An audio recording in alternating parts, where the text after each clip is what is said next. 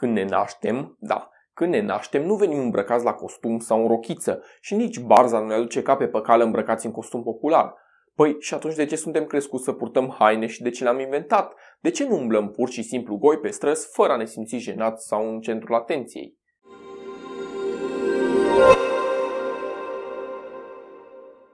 Știu, primul lucru la care vă gândiți este rușinea. De rușine față de ceilalți. Dar lor, de ce nu le e rușine? Ei trăiesc așa de generații și nu le-a spus nimeni, Ei, mai pune și tu o haină pe tine. Ba chiar și noi, ceilalți, îi acceptăm așa și considerăm că pentru ei este normal. Dar de ce nu și pentru noi? Ei bine, pentru a înțelege de ce, în primul rând trebuie să determinăm când au purtat oamenii pentru prima dată haine. Un lucru deloc ușor, pentru că primele haine purtate de către om au fost piele de animale sau diferite plante. Da, clasica frunză. Sau mai multe frunze care sunt foarte ușor degradabile, deci nu au rezistat trecerii timpului. Bazându-ne pe informațiile colectate din cercetările privind genetica culorii pielii, specia umană și-a pierdut părul de pe corp acum un milion de ani. Coroborat cu faptul că primele unelte găsite folosite pentru tăierea pieilor datează de acum 780.000 de ani, putem deduce deci că este un moment ideal pentru a începe să purtăm haine care să ne încălzească. Totuși, această teorie nu este foarte plauzibilă. Se crede că oamenii și-au pierdut părul de pe corp pentru a se adapta nevoii de a vâna în condiții de căldură intensă din Africa. Ba mai mult, Piile de animale au servit și altor utilizări, cum ar fi asigurarea adăpostului și se crede că uneltele au fost folosite pentru a pregăti piile mai degrabă pentru asta decât pentru îmbrăcăminte. În schimb, pentru a răspunde întrebării, antropologii s-au bazat în mare măsură pe metode indirecte.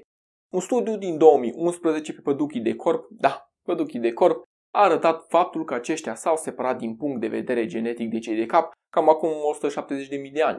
Adică cercetătorii au descoperit că odată ce am început să purtăm haine, niște păduchi au început să trăiască în ele și în decursul timpului au evoluat într-o specie separată.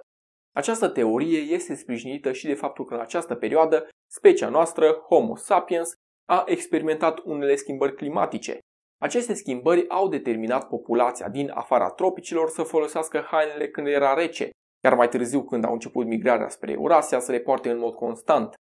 O altă specie umană, neandertalii, care au trăit în Europa cu mult înaintea strămoșilor noștri, obișnuiau să trăiască în zone și mai reci. Deci, în mod cert, erau nevoiți să se protejeze de frig purtând haine și chiar este posibil să le fi inventat înaintea noastră.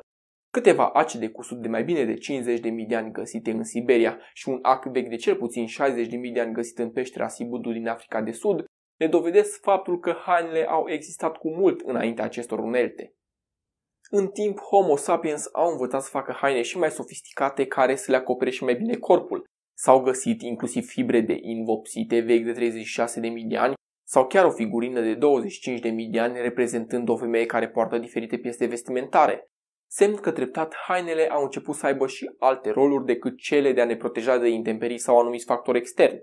Ulterior, dacă analizăm civilizațiile antice mai recente ca și egiptenii, spre exemplu, aceștia au descoperit și folosit pânza atât pentru a se proteja de soare, cât și pentru a o asocia cu diferite bijuterii și nestemate, în încercarea de a se delimita din punct de vedere social. În timp, purtatul hainelor a ajuns să fie considerat un avans în societate, sclavii și cei mai săraci fiind singurii care umblau goi. Odată cu apariția războaielor de mare anvergură, am început să dezvoltăm diferite armuri pentru a proteja soldații pe câmpul de luptă, și să încercăm să le îmbunătățim tot mai mult pentru a avea un mai mare avantaj în fața inamicului. Cumva am purtat atât de mult timp haine încât acestea au devenit o a doua noastră natură. Mai mult de atât, treptat le-am inclus în cadrul unor ceremonii religioase, iar ulterior în propriile noastre coduri morale. Astăzi nu mai concepem să ieșim din casă fără să fim îmbrăcați. De fapt, nu oricum îmbrăcați, ci la modă în concordanță cu noile tendințe. Treptat am ajuns să dăm sume imense de bani pe ceva ce strămoșii noștri, identici din punct de vedere biologic cu noi, foloseau doar să suplinească părul de pe corp de mult pierdut. Dacă vrei să citești mai multe despre acest subiect, pun în descriere linkurile din care m-am inspirat și eu. Fii informat, curiozitatea nu a omorât pe nimeni. Come along with me. I'll show you. Hei, mai stai puțin, să nu uiți de subscribe și să dai like paginii de Facebook. Iar dacă ți-a plăcut acest video, dă un like și distribuie mai departe să vadă și prietenii tăi ce ai învățat.